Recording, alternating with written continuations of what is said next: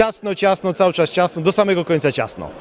Prawda jest taka, że w sporcie dużą rolę odgrywa głowa i, i, i mm, często mówi się o takim gra- graniu falą. I, I to się i zdarza najlepszym, najgorszym takie fale, takie blokady, y, serię punktów w przód, serię punktów w tył. E, Także myślę, że mm, tutaj bym tego szukał, a nie raczej w, w odpuszczaniu. To, co dzisiaj na pewno zapro- zaprocentowała, to, to, to, tak jak Pan powiedział, absolutne serce do walki. Ja dawno nie widziałem naszej drużyny, która po prostu wyszła bez żadnych skrupułów z li- liderem i czy jedna akcja, czy dwie, czy w przód, czy w tył, to był ten sam zespół ja się bardzo cieszę, warto było tu przyjechać i pokazać takie, takiego ducha gry.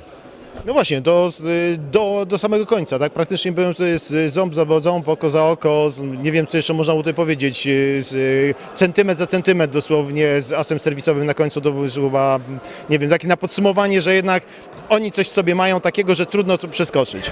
Myślę, że e, po tym się poznaje lidera, że potrafi w takim trudnym momencie z, z, przy takiej wymianie ciosów wyjść i zagrać dwa asy serwisowe z rzędu. To ja chylę czoła, po prostu naprawdę to dobra robota, więc tutaj e, wywalczone zwycięstwo myślę, że mówię, to po tym można lidera, lidera poznać.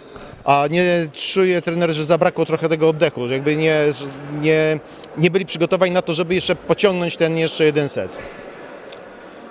Mm, Myślę, że nie, nie czułem czegoś takiego. E, Widziałem, dzisiaj chłopaki byli tak zmobilizowani, że we trzech do, do piłki biegli, widać było, a do następnego biegu jeszcze- we dwóch nikt na boisku nie został, by tylko piłkę wy- wywalczyć, Mm, więc e, myślę, że to by chłopaków spokojnie wytrzymało do tego, do tego piątego seta i podtrzymałoby ich.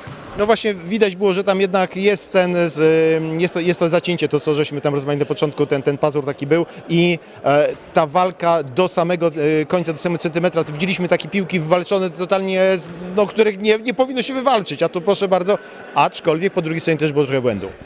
Powiedzieliśmy sobie w szatni, że panowie, przegrywa się tylko wtedy, jak nie da się z siebie wszystkiego, żeby wygrać, więc myślę, że chłopaki nie mają prawa czuć się przegrani po dzisiejszym meczu. Na pewno, także bardzo dziękujemy za wspaniały, emocjonujący mecz. E, Niestety z kibice nie mogli być na trybunach, ale byli za to z, w transmisji bezpośredniej na piłkasiatkowa.com, także pozdrawiamy wszystkich e, zawodników, pozdrawiamy wszystkich kibiców, no i do następnego meczu. Widziałem, widziałem, że córki pokazywały tatę, także rodzina też oglądała. I. Wielkie dzięki. Dzięki.